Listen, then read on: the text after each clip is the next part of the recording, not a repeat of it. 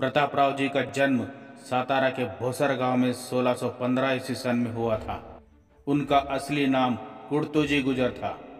उन्होंने मिर्ज़ा राजा जय सिंह की सेना के विरुद्ध छत्रपति शिवाजी महाराज की ओर से लड़ते हुए बड़ी बहादुरी दिखाई थी। उनके इस प्रताप को देखकर महाराज ने उन्हें प्रतापराव की उपाधि दी थी।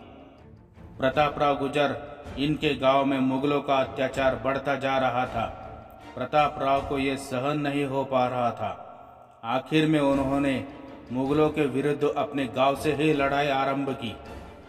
वो अपने गाँव के स्त्रियों की आबरू और प्राण के लिए लड़ने लगे। एक बार एक ही समय में दो मराठा शेरों ने मुगलों के खजाने पर आक्रमण किया। एक थे स्वयं छत्रपति शिवाजी महाराज और दूसरे प्रतापराव गुजर।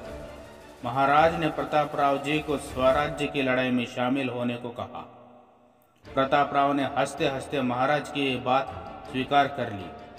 प्रताप राव स्वराज्य के तीसरे सर सेनापति थे। राज्य अभिषेक के लिए सिर्फ़ छह महीने बाकी रह गए थे। बलोल खान बारह हज़ार की सेना लेकर आगे बढ़ रहा था।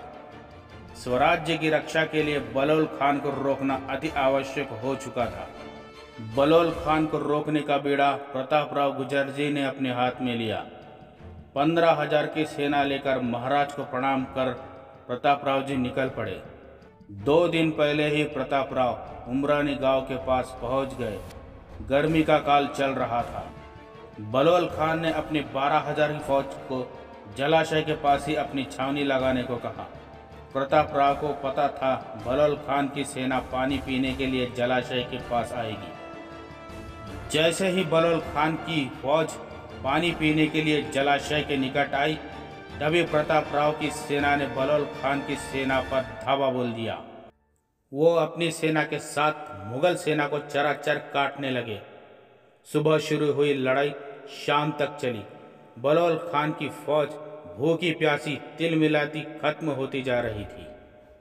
बलोल खान प्रताप राव की शरण में आया और गिड़गिड़ाने लगा। उसने कहा, फिर से स्वराज्य के रास्ते में नहीं आऊँगा। प्रताप राव जी को दया आ गई। उन्होंने बलोल खान को छोड़ दिया। जब ये संदेश छत्रपति शिवाजी महाराज को पता चला, तब महाराज प्रताप राव जी पर बहुत क्रोधित हुए। हाथ आए दुश्मन को जाने दिया।